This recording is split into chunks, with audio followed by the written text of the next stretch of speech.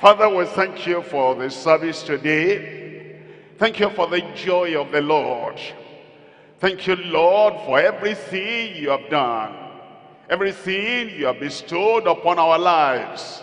In the day, in the night, whatever is happening, we say, thank you, Lord. Accept our praises in Jesus' name.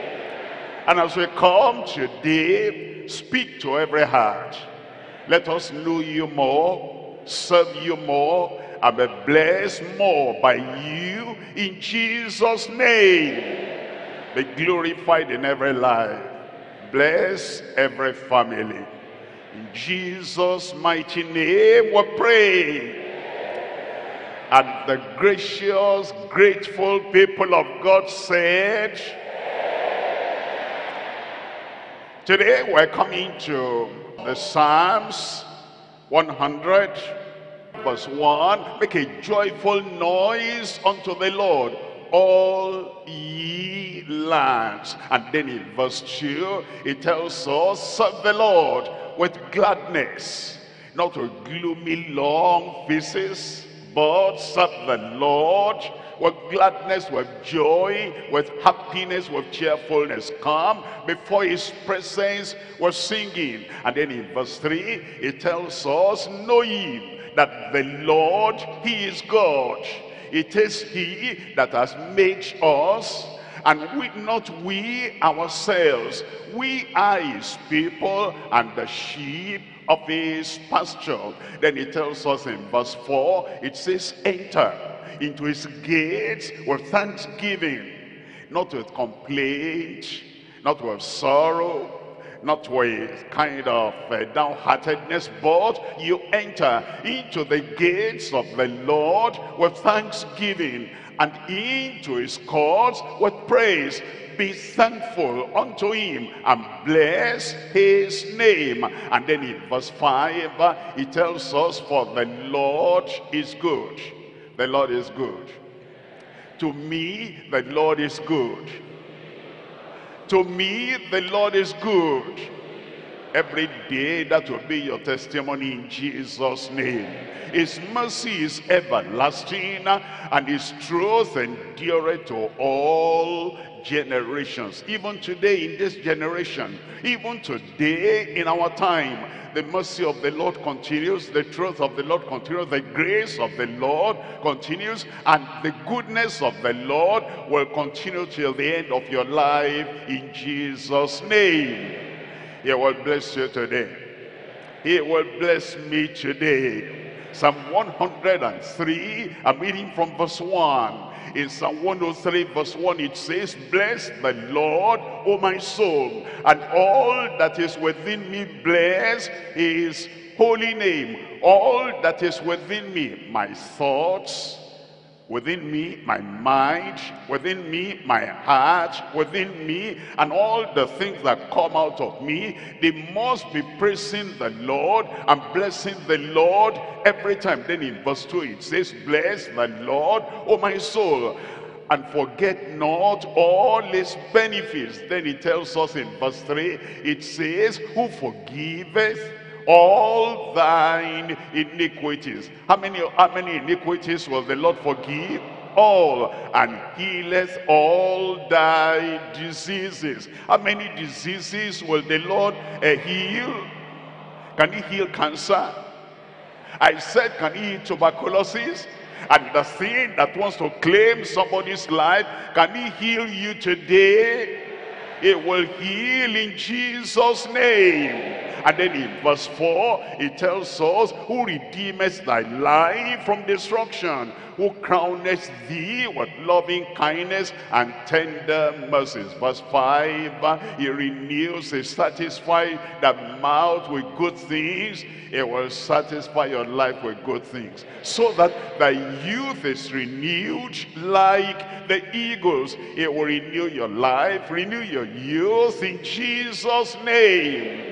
Look at Psalm 105, verse 37. Psalm 105, verse 37, it tells us he brought them forth also with silver and gold. He brings you forth anywhere you go, anything you touch. He'll bring you forth with silver and gold in Jesus' name.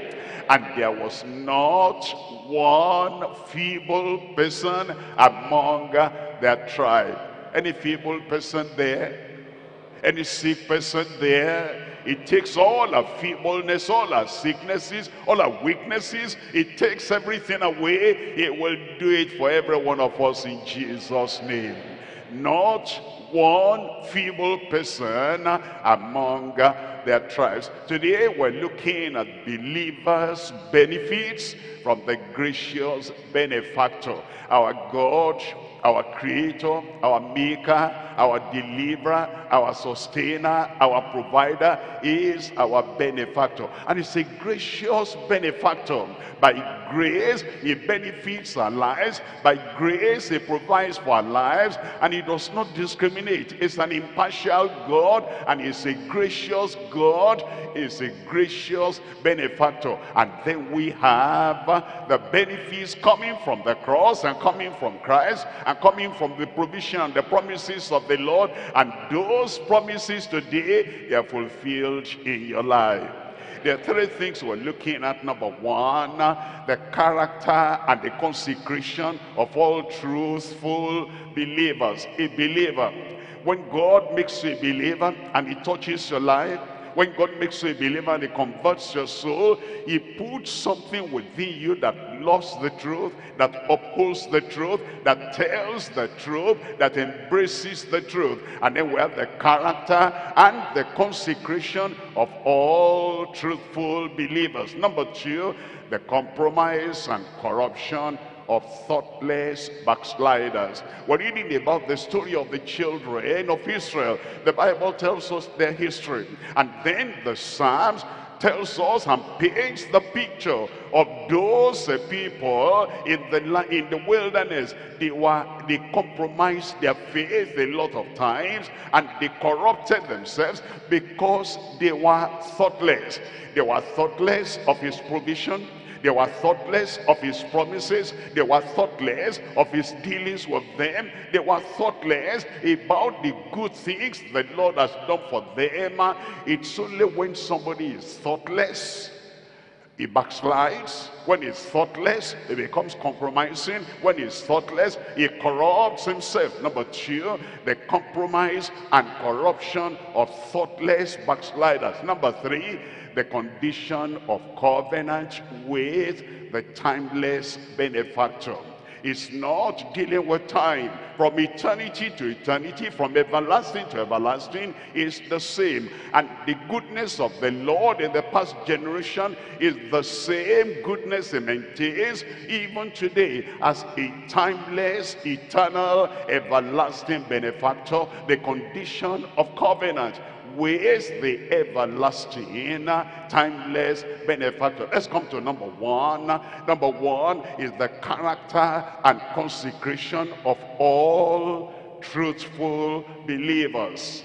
God will make you a truthful believer, a righteous believer an honest believer and you will be a believer. Everywhere you go anywhere you are the character the commitment the consecration of a real believer will be reflected and demonstrated in your life in jesus name. And let's look at psalm 101 reading from verse 2 psalm 101 reading from verse 2 i will behave myself wisely in a perfect way Oh, when wilt thou come unto me? I will walk within my house with a perfect heart. And then he tells us in verse 3 there, in verse 3 he says, I will set no wicked thing before mine eyes. I hate the work of them that turn aside. It shall not cleave unto me. As we look at this section, there are three things we're looking at. Number one, the consecration of a true believer. The commitment, the consecration of a true believer. He says, I will. This is what I will do. This is my expression of absolute surrender unto the Lord. The consecration of a true believer. Number two, the character of a transformed believer. The life has been transformed. When you are created by God and you are wonderfully and fearfully made and now you pass through the hand of God again and he recreates you. What a wonder comes. It touches your heart. It touches your life. It touches every part within and every part all around. And then he gives you the character of a transformed believer. Then number three is the companionship of a trustable believer.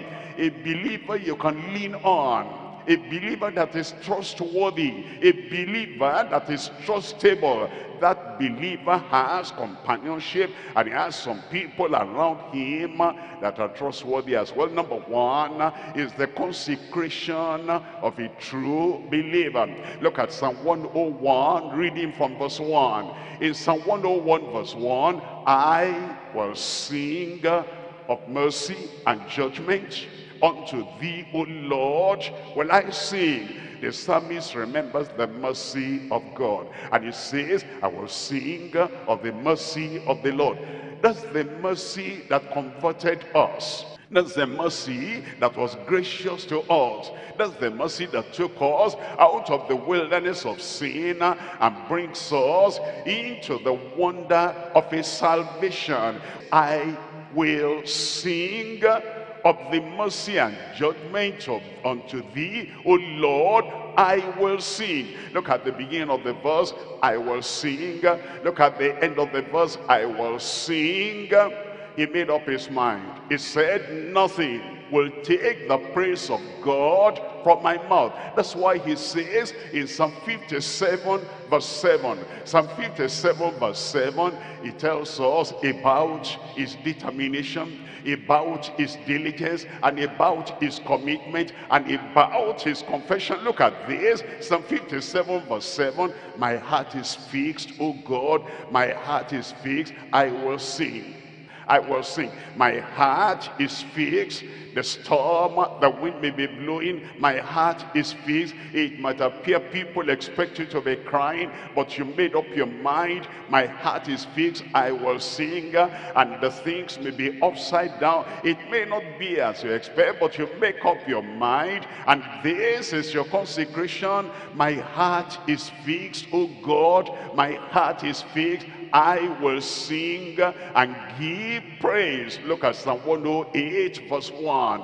In Psalm 108 verse 1, Oh God, my heart is fixed, I will sing. He said that before. He's saying that again. You see, there are people, when they're in the church, they say, oh Lord, I will worship you, I will praise you, I will sing, whatever is happening. And then something begins to happen, and they cannot sing again. Where is your heart? My heart fixed to God. I will sing and give praise even with my glory, with the glorious things and possession in my life, I will sing and give praise, and my heart is fixed. Look at Psalm 112, Psalm 112, we're reading from verse 7. It tells us, He shall not be afraid of evil tidings, He shall not be afraid of bad news, He shall not be afraid of the of the enemy, He shall not be afraid of, uh, you know, whatever he hears and whatever he reads that they are coming, they are coming, they are coming. He said,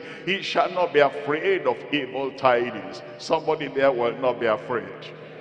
You will worship the Lord without fear. His heart is fixed, trusting in the Lord. Your heart is fixed and all the time you are trusting in the Lord, there will be no disappointment in your life in Jesus' name.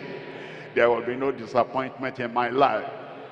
I said there'll be no disappointment in my life. It will fulfill all his promises in your life in Jesus' name. That's the consecration of a true believer. Let's look at number two now. Number two is the character of a transformed believer. when we say somebody has salvation, that means somebody has conversion. Salvation, conversion, they're the same. Conversion, when you convert something, like you convert, you know, raw papers and the papers that have been, you know, cut off from the printers, and then you take to the people who convert, they convert those useless uh, cut-offs into something very useful. That's conversion. And when your life has been worthless, your life has been colorless, your life has been, uh, you know, godless without character, and then you come to God, and there is salvation, there is conversion, your life will be beautiful.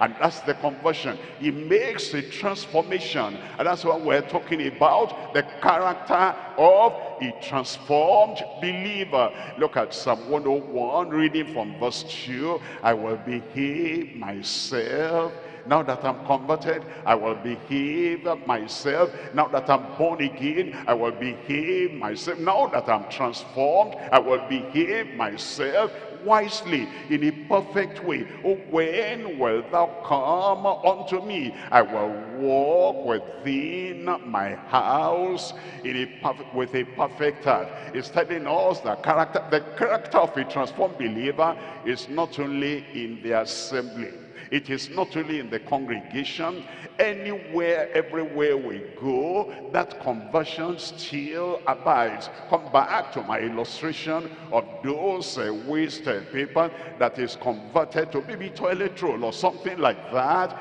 Anywhere that converted paper goes remains the same.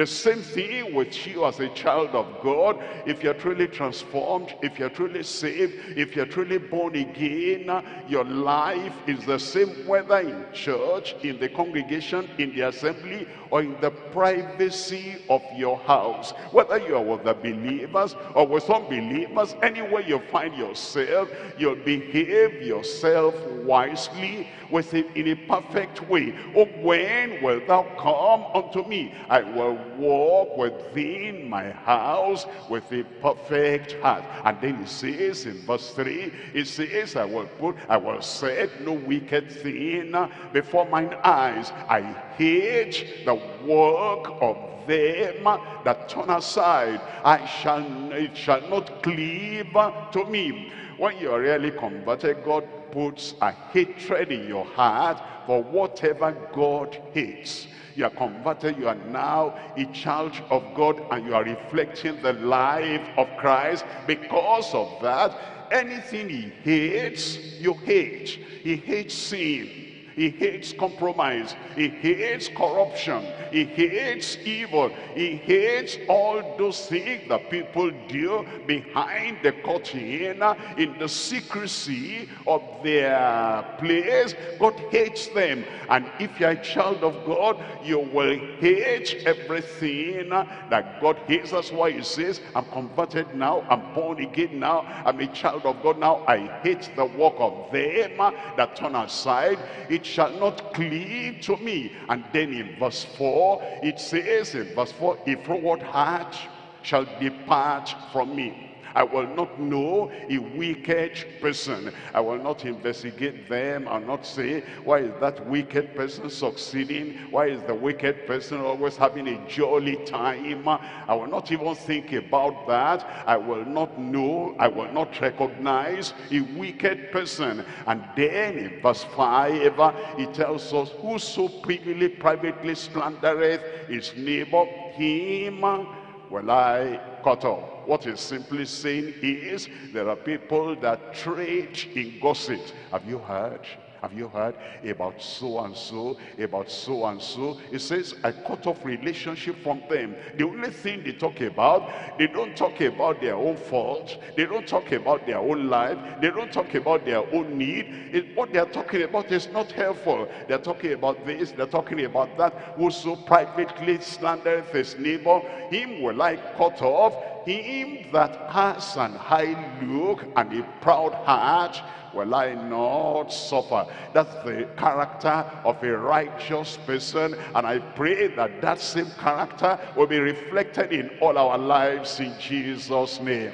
Did I hear an amen? Look at number three now. Number three is the companionship of a trustable believer. A believer who wants to have and remain a believer, he has companions around him. And the companions, look at their description. In Psalm 101 verse 6, Mine eyes shall be upon the faithful of the land. We cannot go through life uh, lonely without having people around us. You want to have friends that are faithful, that will support your vision, that will support your that will support your goal. And everywhere you want to go, they want to help you. They don't want to destroy you. They know your hope, they know your desire, and they know your aspiration. They know that in life you want to be everything God wants you to be and those friends and those companions they come to you they have a perfect heart they have a faithful heart they want to serve the lord and they want to serve you as well. They are not there to take anything out of you. They're there to contribute your life and make you the happy cheerful prosperous progressive person you ought to be. Friends that will uh, exalt christ in your life and not destroy the goal of your life, the Lord will give you the wisdom to search for them and to stay with them, abide with them in Jesus' name. Mine eyes shall be upon the faithful of the land. Think about David David had, you know, uh, Saul with 3,000 soldiers after him. And David needed friends and companions that could be trusted in the day and trusted in the night. That's why he said, mine eyes shall be upon the faithful of the land, they that they may dwell with me. I need them that they may dwell with me.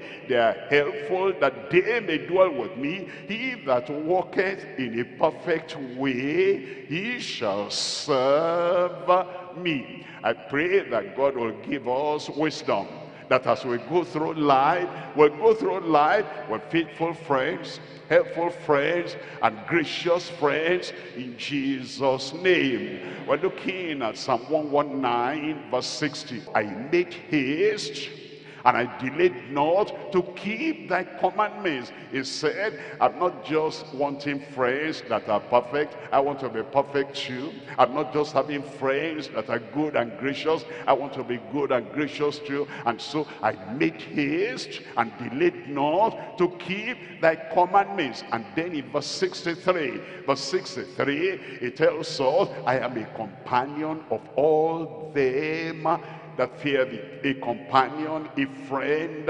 associate, acquaintance of all them that fear thee, and of them that keep thy precepts, the companionship of a trustable believer. We're coming to point number two now. Point number two, the compromise and corruption of thoughtless backsliders. It is not good to backslide. I will not backslide. I said, I will not backslide. You know why? Because the Lord can come for you at any time. And if he comes when you're in a backsliding position, then you are lost forever. Now, we need to understand when we read the Psalms and when we read the Old Testament. Because in the Old Testament, in the Psalms, you will see that God is merciful. And you will hear, he forgiveth all their transgressions. But you must look at the whole story. When it says he forgives them, it's talking about them as a nation, as a nation. And then he brought them out of Egypt and he took them through uh, the, the wilderness and they landed in the promised land as a nation. But the people that sinned in that nation, like when they spoke with their mouth and serpents came out and beat many of them, many of them died. But the nation still remained All those who died with the biting of the serpent because they died in their iniquity and they died in their sin. They didn't get to heaven. They didn't get to the promised land. And so you must understand when it says they sinned and he forgave them. They, as a nation, they sinned. And the people that really remained in that sin, they died. They didn't get to heaven. It's the nation remaining that got to the promised land. So always remember that. So all these things that we read, don't just say, you forgive them, you forgive me. We don't know. We don't know because we know people who sinned and they died in that sin. You remember Achan. He died in that sin. You remember Ananias and Sapphira? They died in that sin. The people that remain as a nation, the people that remain as a congregation, God will forgive those who remain alive and they can be forgiven. But the people that just go like that suddenly, unto man it's appointed once to die and after this the judgment that's why we're considering now the compromise and corruption of thoughtless backsliders. Three things we're looking at. Number one, the corruption that provoked the Lord. The corruption that provoked the Lord. Number two, the condemnation for provoking the Lord. Those who provoked the Lord, the condemnation that came upon them. Number three, the command not to provoke the Lord. He has commanded us not to provoke the Lord. We're coming to Psalm 106 now, and that's point number one, the corruption that provoked the Lord. Psalm 106 verse 7, our fathers understood not thy wonders in Egypt.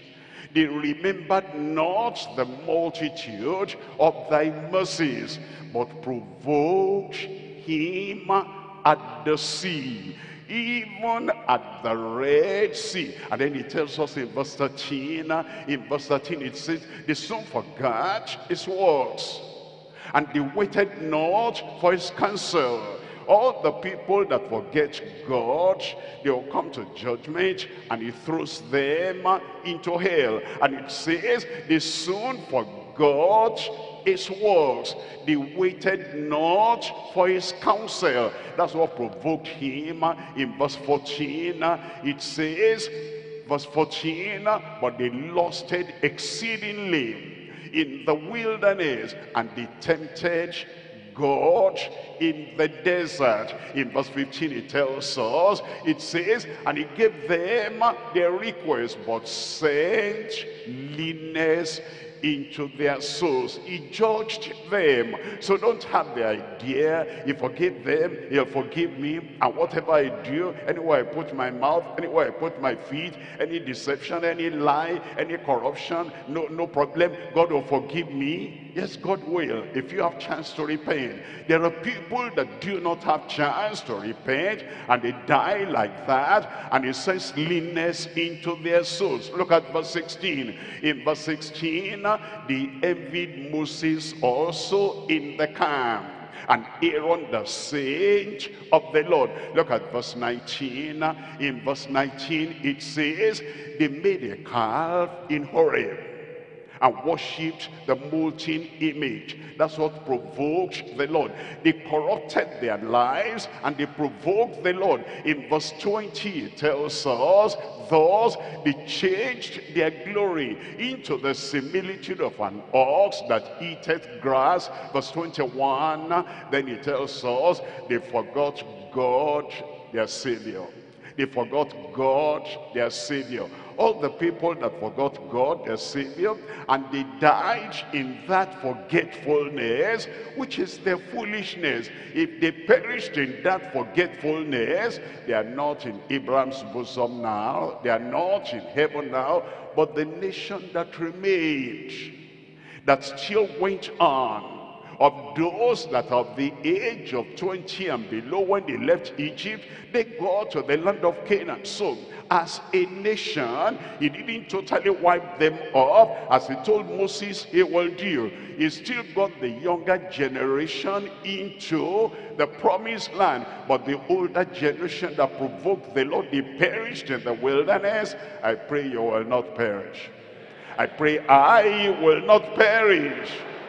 The Lord keep you from corruption in Jesus' name. And look at Psalm 78. We're looking at Psalm 78 verse 40. How oft did they provoke him in the wilderness and grieve him in the desert? Verse 41, it says, Yea, yes, they turned back and tempted God and delimited the Holy One of Israel.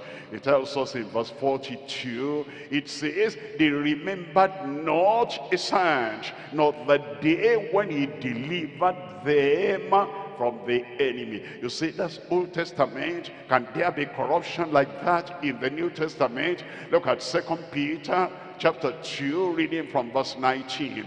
Second Peter chapter 2, we're reading from verse 19. While they promise them liberty, they themselves are the servants of corruption. There are some preachers, they promise other people liberty. You can do as you please. God is a God of mercy. God is a God of love. Go and read the Psalms. You see his mercy endureth forever. Yes his mercy endureth forever of the generation remaining. But the people that provoked him with their corruption, they died in the wilderness. But the mercy of God still continues for those who are alive, who repent, and don't want to seek the face of the Lord. But these promise them liberty.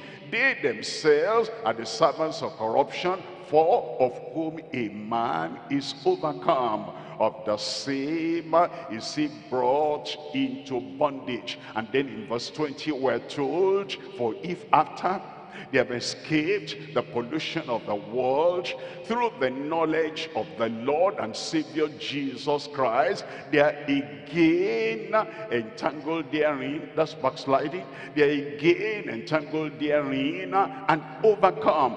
The latter end is worse with them the mercy of God still continues with those who repent. The mercy of the Lord still continues to those who abide in the Lord. And the grace of God abides in them but for the people who yield to corruption it says the latter end is worse with them than the beginning i pray your latter end will be better will be brighter will be higher in jesus name you will not join corruption and corrupters. Your life will be in the grace of God and in godliness for the rest of your life in Jesus' name.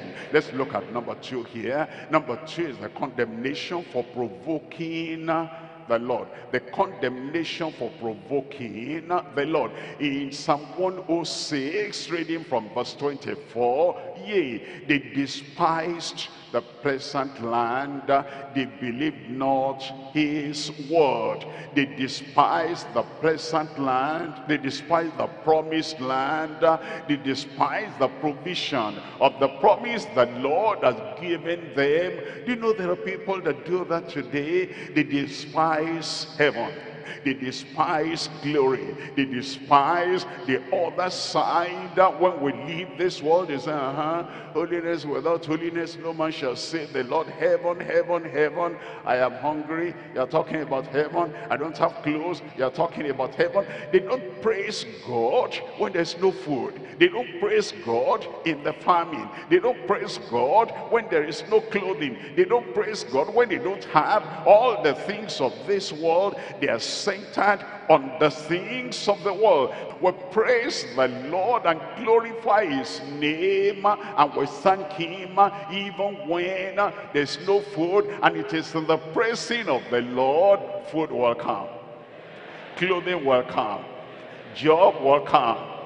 Uh, am I hearing any amen there? And wife, wife will come. I pray for you that this year will not pass you by. Husband will come. I pray for you that this year will not pass you by. But you know, but you know, frowning makes us ugly. Being gloomy makes us ugly. You're looking for wife, you're looking for husband, and then anywhere you are outside, the way you carry yourself, you're never happy, you're never cheerful. Even if somebody is to know the will of God to you, he said, this man has too much burden. I have burden, he has burden, and he carries his burden everywhere. I don't want to join him, I don't want to join her, so that our burdens will multiply. Cheer up. The Lord is on your side share of good things are coming to you. When you're always cheerful, it's easy to see the will of God to somebody who is always cheerful, always happy. You don't have anything at home. It's like you have the whole world. You're relying on the promises of God and you say, I know God will provide for me. I, I, I know God will provide for me and will provide. I said he will provide. Carry your cross with a smile. And whatever is happening in your life, don't let the devil see you crying all the time. The devil is wicked. He likes to see people crying all the time. And when you cry and cry and cry, he'll give you more things to cry about. The devil will not see me cry. See it for yourself. Enemies will not see me cry. They see the smile of God on your face every time. And life will be better. If you're sick now, he will heal you. If you're oppressed, he will relieve you in Jesus' name. God made you, not for Satan to laugh at you. He made you so that you'll be a trophy in the crown of the Lord in Jesus' name. But they despise the pleasant land. They believe not his word. Look at verse 25. It says in verse 25, but murmured in their tents and hearkened not to the voice of the Lord. In verse 26, it tells us, therefore, he lifted up his hand against them to overthrow them in the wilderness. You understand now? Those people that and those people that complained and those people that said who is God? What has he done? What did he take us out of Egypt? The mercy of God did not continue with them. Only the people that said we're grateful look at where we are now and look at what we have now and look at what God has provided. Those are the people that had the mercy of God with them all the days of their lives but they were overthrown. Look at verse 27. In verse 27, it said to overthrow their seed also among the nations and to scatter them in the lands. In verse 28, it tells us they joined themselves also unto Baal Peor and ate sacrifices of the dead. You see what they did and how God brought condemnation upon them in verse 29. In verse 29, thus they provoked him to anger. They provoked him to anger with their inventions and the plague break in upon them. First Corinthians chapter 10, we're reading from verse 5. In First Corinthians chapter 10, reading from verse 5, see what warning the Lord is giving us because of those people that came under condemnation. But with many of them, God was not well pleased, for they were overthrown in the wilderness. In verse 6, it says, now, these six were our examples to the intent we should not lust after evil things as they also lusted, so that we don't provoke the Lord. Look at verse 7. Verse 7 tells us, neither be ye idolaters, as were some of them, As it is written, the people sat down to eat and to drink, and they rose up to play. Verse 8 tells us, it says, neither let us commit fornication, as some of them also committed and fell in one day three and twenty thousand all those people that committed fornication they didn't have chance to repent and they fell they died in one day 23,000 and other people died, died later. They died in condemnation. They were not uh, restored. They perished. They are not in heaven they went to hell and the lord is warning us that we should not be like them so that the sudden death the sudden destruction and the eternal judgment that came upon them will not come upon us. In verse 9 it tells us in verse 9 neither let us tempt christ as some of them also tempted and they were destroyed of serpents. Verse 10 tells us, neither murmur ye, as some of them also murmured. Neither murmur ye, as some of them murmured. You see, there are people, they do not understand that murmuring is sin. They think everybody does it, not everybody. Everybody does not do it. Even in the land of Israel, everybody did not murmur. But those who murmured, they were dealt with in severe judgment by the Lord. And he's saying that since we have seen their history, how they corrupted themselves, how they provoked the Lord, and the condemnation that came upon them, he says, neither murmur ye, as some of them also murmured, and they were destroyed of the destroyer. Then verse 11 brings the lesson for us. He says, now, all these things happened unto them for examples and they are reaching for our admonition for our learning for our encouragement for our warning upon whom the ends of the world are come. Look at number three there. Number three is the command not to provoke the lord. The command not to provoke the lord. I will not provoke the lord now understand, uh, you want something from somebody. And as you get to him, uh, and what you want is very important to you. And you know he can provide what you are asking for. And as you get to him, uh, you know what he doesn't like.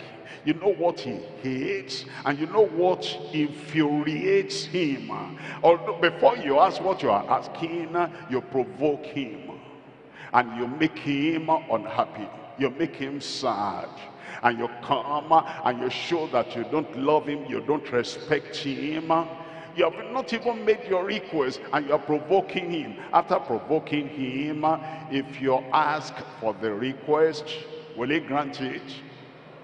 I can't hear you if what you are asking from him is very important to you, if the favor you demand from him is very important to you, if what you are asking that he will give you will make you happy and will make your life prosperous and will make your life fulfilled. The one thing you don't want to do is to provoke him. Don't provoke the Lord because he's the one who can answer your prayer. He's the one who can bless you. And because of that, you don't want to do anything anytime that will provoke the Lord. And then when you come to pray, you say, uh-huh, you know how to ask, you know how to demand, you know how to wish for this and that, but you're a provocation all the time. That's why he commands us not to provoke the Lord. In Exodus chapter 23, we're looking at verse 20. Exodus chapter 23, we're reading from verse 20. Behold, I send an angel, capital A. That's the Lord before his incarnation It says, Behold, I send an angel before thee to keep thee, you know, in thy way, in the way, and to bring thee into the place which I have prepared. Is the one to bring us to the place that he has prepared and to fulfill all the promises of God in our lives. Look at verse 21. In verse 21, beware of him, obey his voice, provoke him not. You want him to guide you and lead you, provoke him not. You want him to show you the way, the way into the abundance of the provision of God for you, provoke him not. You want him to bring the fulfillment of the promises of God into your life, into your family, provoke him not. You trust him, you depend upon him to answer your prayer, provoke him not, for he will not pardon your transgressions for my name is in him. Look at verse 22. In verse 22, but if thou shalt indeed obey his voice and do all that I speak through him, then I will be an enemy unto thine enemies. I will be an enemy unto thine enemies and an adversary unto thine adversaries. No amen. Verse 25, look at verse 25. In verse 25 it says, And ye shall serve the Lord your God, you'll not provoke him, and he shall bless thy bread and thy water. There's no provocation, and I will take sickness away from the midst of thee. And then in verse 26, he tells us in verse 26, he's telling us that he will fulfill the, the number of our days. He will fulfill all the promises he has given us because we avoid provoking him. We avoid tempting him. And we avoid doing anything that will set a wall of demarcation between us and him. Provoke him not so that the promises of the Lord will be yes and amen in your life. Amen in my life. There shall nothing cast their young, nor be barren in thy land. The number of thy days I will fulfill. The number of my days he will fulfill. The number of my days he will fulfill. And he'll fulfill all the promises of God in every one of our lives in Jesus' name. We're coming to point number three. Point number three is the condition of covenant was the timeless, eternal, everlasting, ever-living benefactor. We're coming to Psalm 103 and we're reading from verse 17. Psalm 103, reading from verse 17. But the mercy of the Lord is from everlasting to everlasting. Look at what follows. The mercy of the Lord, the goodness of the Lord, the grace of the Lord, the faithfulness of the Lord is from everlasting to everlasting upon them that fear him upon them. That's the condition. Upon them that fear him and his righteousness unto their children's children. Then in verse 18, he tells us to such as keep his covenant. That's the condition there's a condition for us to have the benefits of the covenant. To such as keep his covenant and to those that remember his commandments to do them. And then he tells us in verse 19 verse 19 tells us he says the lord has prepared his throne in the heavens and his and his government is a kingdom his rule rulers over all. When you see those conditions of the Lord and you see those conditions that God himself has stated in his word, that yes, he has a covenant and that covenant provides everything you need, all the benefits you need and all the goodness you need. But then he says it is for the people that fear him. It is for the people that love him. It is for the people that obey his commandments. When you then get more of the grace of God and the goodness of God in your life, life and you're obedient to the Lord, then you will see that you are gracious, you are grateful, and you are earnest in asking for and receiving the blessings of the Lord, it will not fail in your life.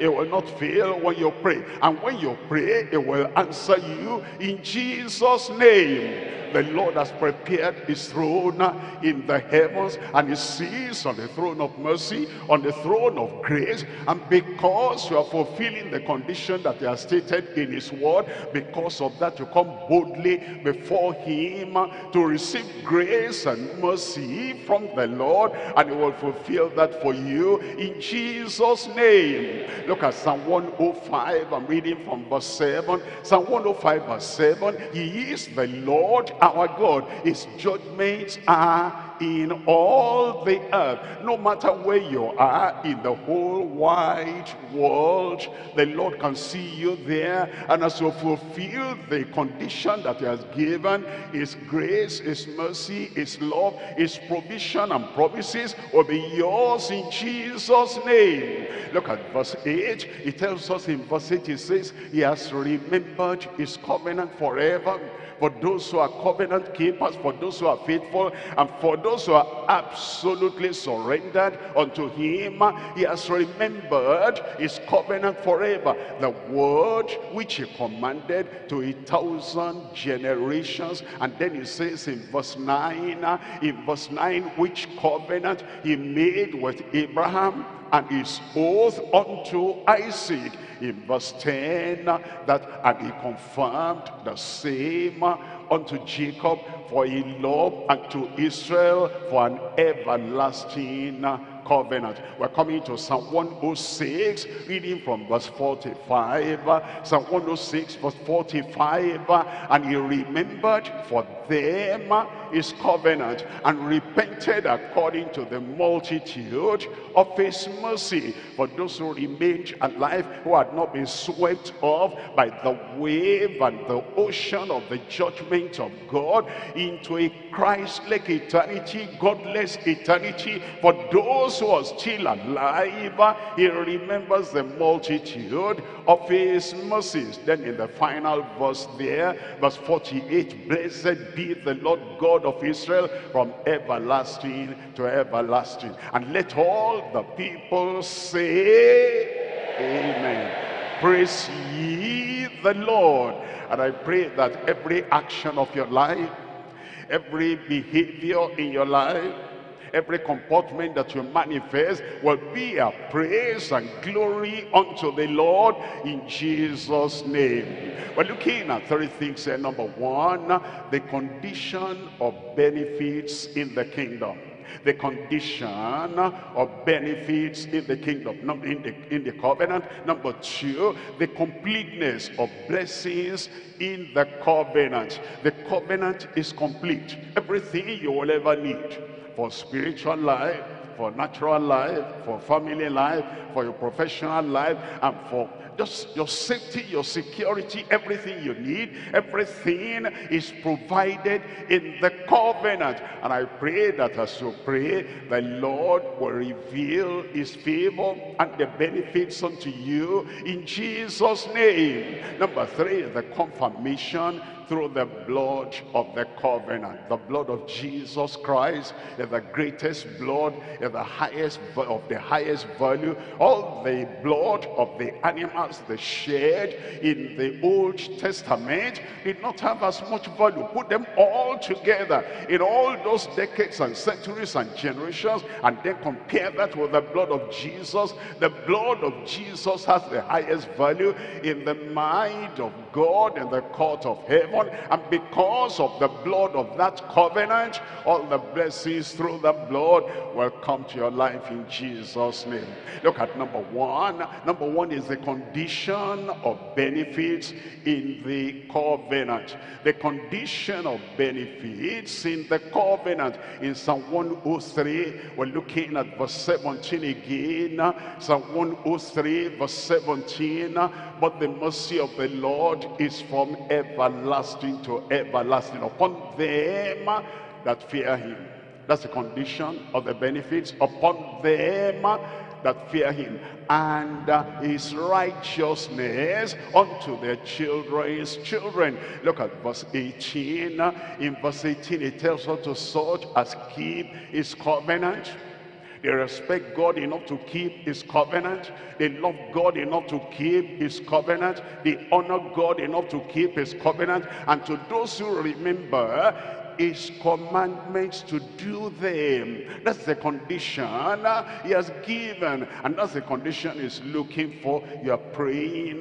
First of all, tell him to give you grace to be obedient to his, to his commandment and to his covenant. And it is to those obedient to him he will give the fulfillment of his promises. Let's come now to number two there. Number two, the completeness of blessings in the covenant. Everything you need is provided for. Everything I need is provided for. Sunshine in your life. Happiness in your life. Joy in your life provision in your life in Jesus' name. Deuteronomy chapter 7, we're reading from verse 12. Deuteronomy chapter 7, and we're reading from verse 12. Wherefore it shall come to pass, if ye hearken to, the, to these judgments, and keep and do them, that's the condition. If ye hearken and keep and do them, that the Lord thy God shall keep unto thee the covenant and the mercy which is where unto thy fathers. Look at verse 15.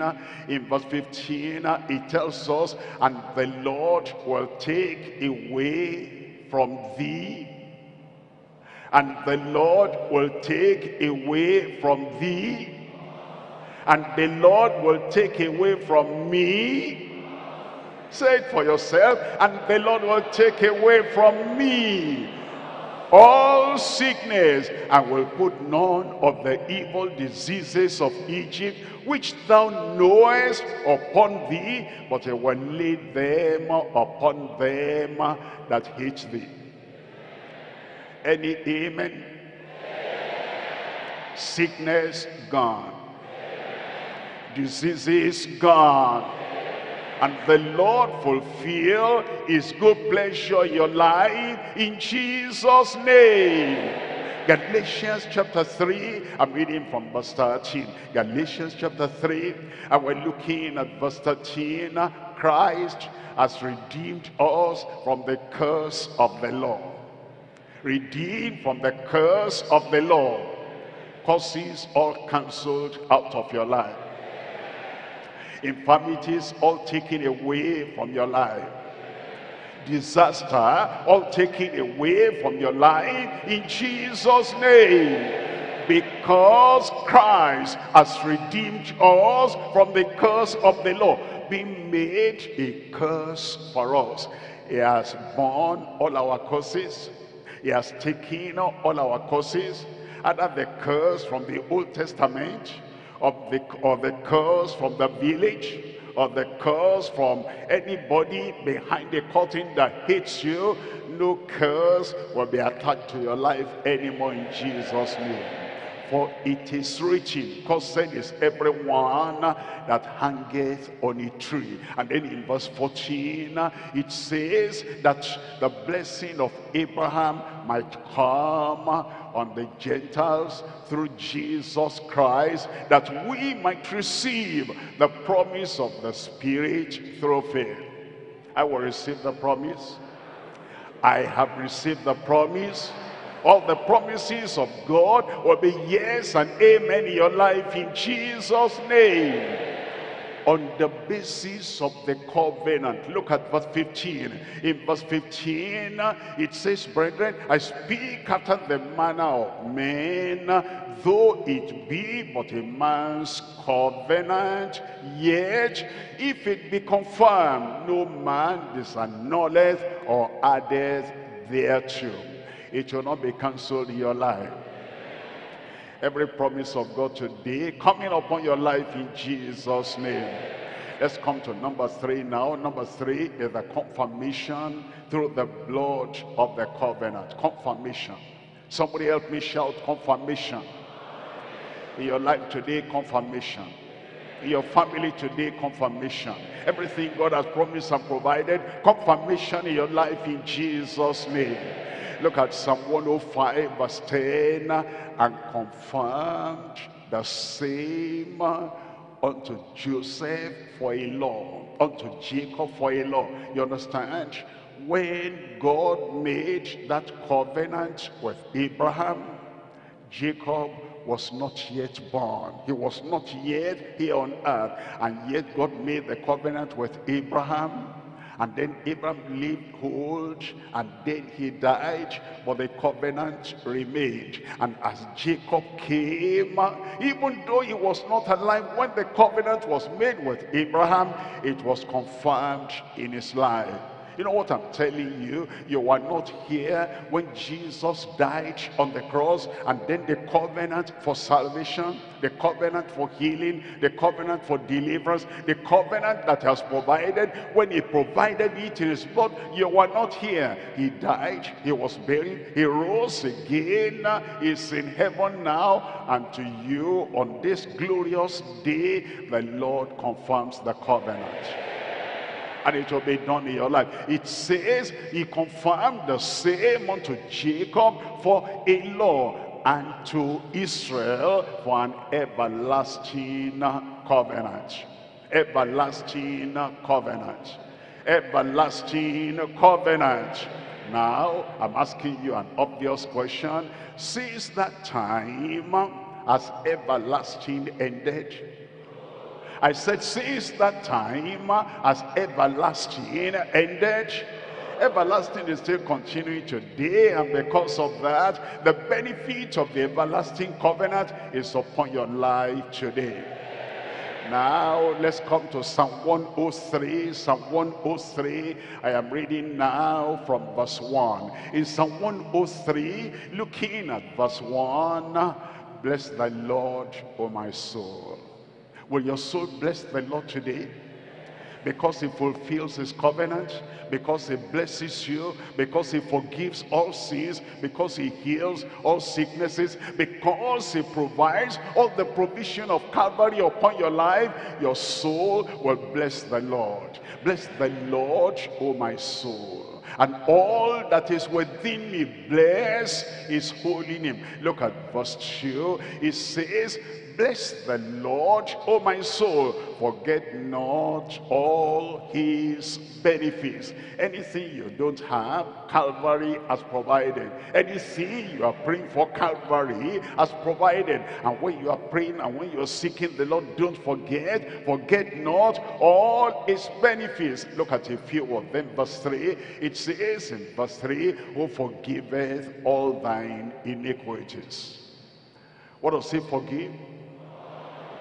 Whatever you have done in the past, anytime, as you come to the Lord and say, Lord, you say, yes, I know what you're asking for, and he will forgive all trespasses, all iniquities. It will save your soul if you are not yet saved. If you're backsliding, it will restore you. If you're a child of God, but you are sorry for something, it will forgive and overlook in Jesus' name. Who healeth, tell me.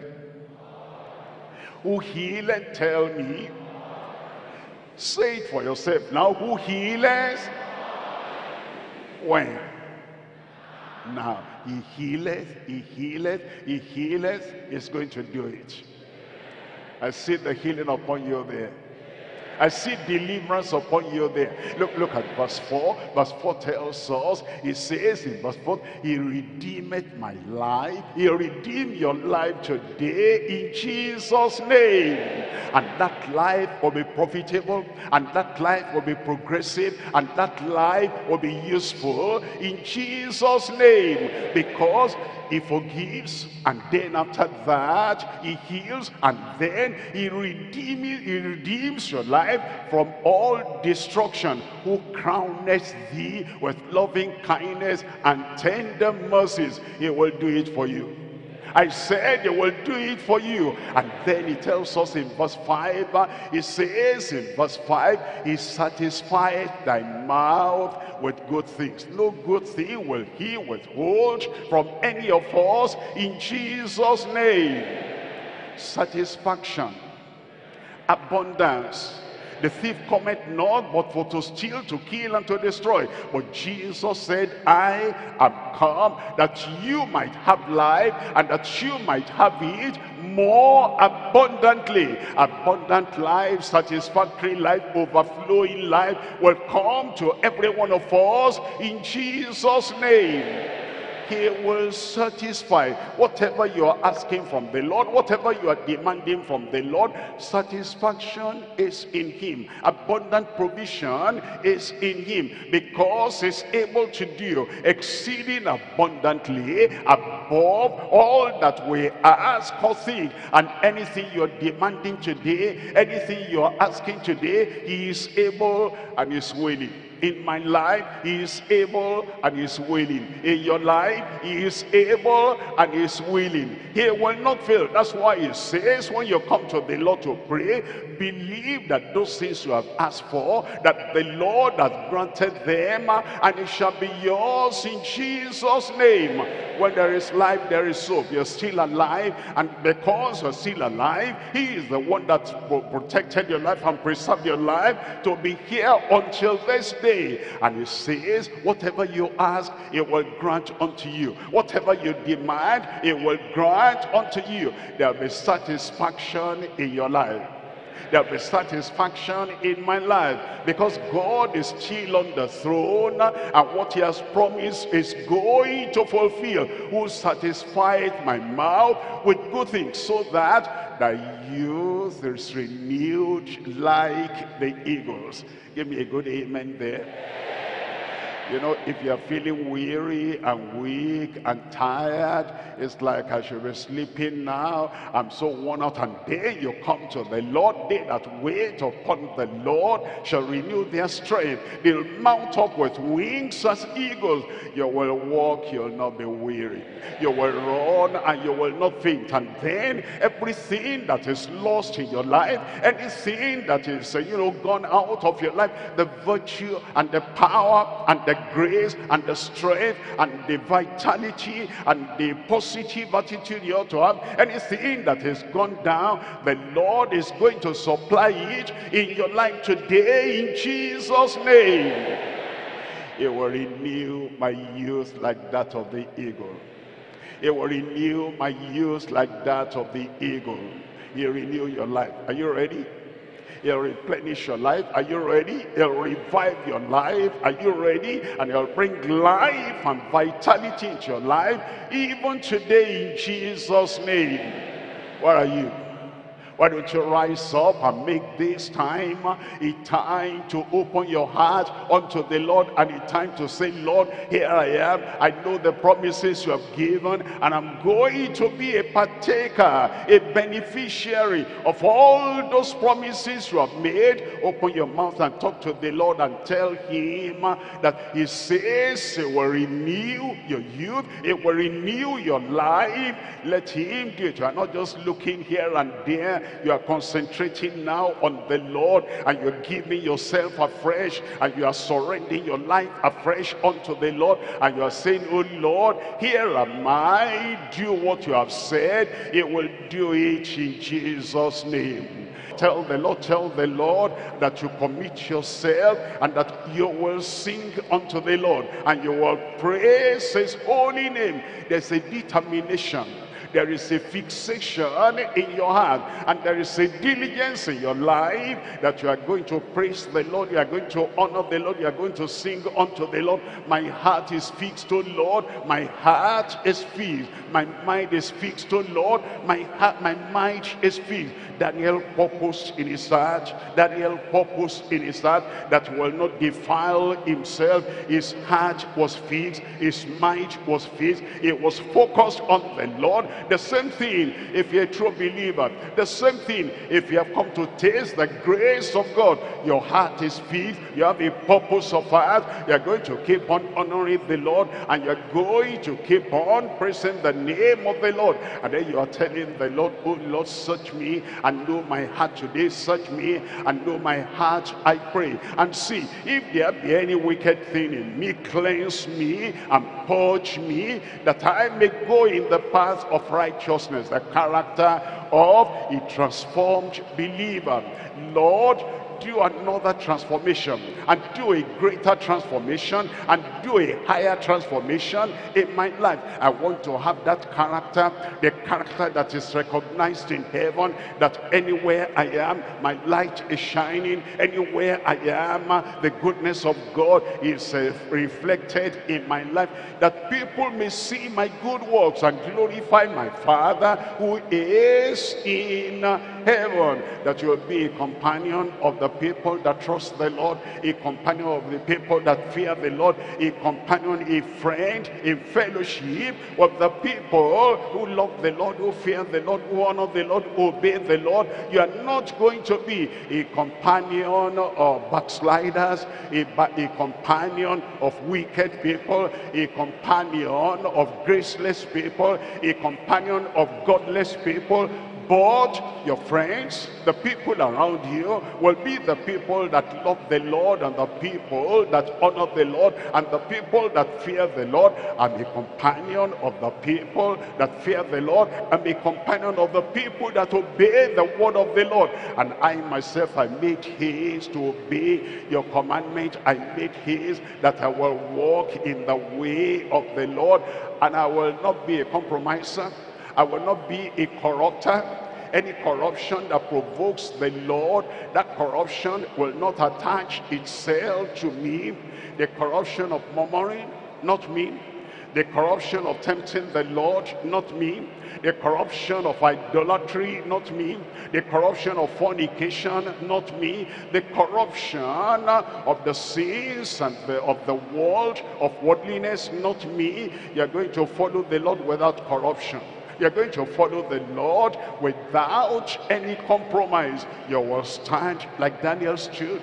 You will stand like Shadrach, Meshach, and Abed, Abednego stood. You will stand like Paul I stood, you will stand like Peter and John, like this children, where I be right in the sight of God to obey you more than God judge ye, but we cannot but obey that which we have known. And when they saw their boldness, when they saw their courage, they took knowledge of them that they had been with the Lord. Let that be your lifestyle. No corruption, no corruption, no corruption, and no compromise in your life. And then uh, remember the covenant salvation through that covenant. Remember the covenant. Sanctification holiness through that covenant. Remember the covenant the mind of christ given unto us through that covenant. Remember the covenant and the law of god is written in our heart. And everywhere we go as we pray unto the lord